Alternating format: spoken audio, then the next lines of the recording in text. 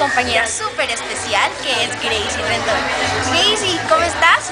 Muy bien, feliz también aquí viendo los chicos con tanto talento y Juli también que cantó espectacular, ya la escuché, la había escuchado antes pero no en vivo, así que me encantó Juli, felicitaciones. Muchas gracias, lo teníamos ahí medio preparado pero igual salió súper lindo. Pero bueno, ahora queremos hablar un poquito más contigo porque estamos en esta feria de talentos, yo estoy con una persona muy talentosa, ella canta y ahora va a estar en otro lugar que también va a actuar porque actúa súper lindo, estuvo en la primera dama también últimamente y va a ser la protagonista de uno de los proyectos más esperados aquí en Colombia que es Chica Vampiro. Cuéntanos más acerca de ese personaje. Bueno, una bendición, estoy feliz porque, bueno, la verdad uno como actor siempre dice, uy, ¿qué tal yo algún día ser un protagónico? Pero no, pues yo por lo menos la verdad lo veía muy lejos.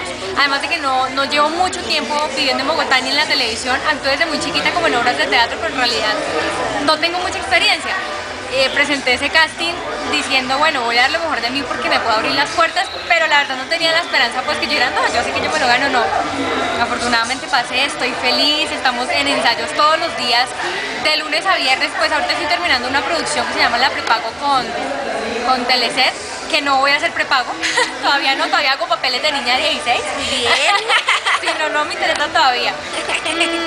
Entonces, bueno, estamos en ensayo, entonces eh, cuando estoy grabando en la tarde eh, ensayo en la mañana ensayo, en la tarde grabo, estoy un poquito como apretada pero feliz porque digamos que es una oportunidad excelente porque además la producción tengo que cantar, que yo antes que actriz soy cantante, entonces me toca cantar, me toca bailar y pues por obvias razones actuar.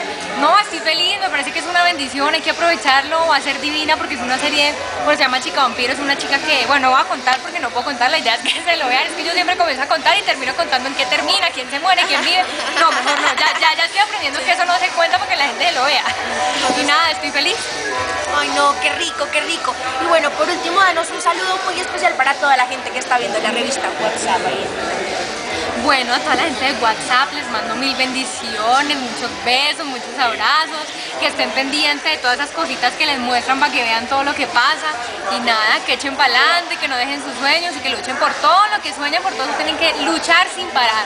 Y que se vean chica vampiro, ¿no? Y que se vean chica vampiro, por favor. Bueno, soy Julio Velázquez y también le mando un abrazo y un beso muy grande para todos los que están ahí conectados con WhatsApp.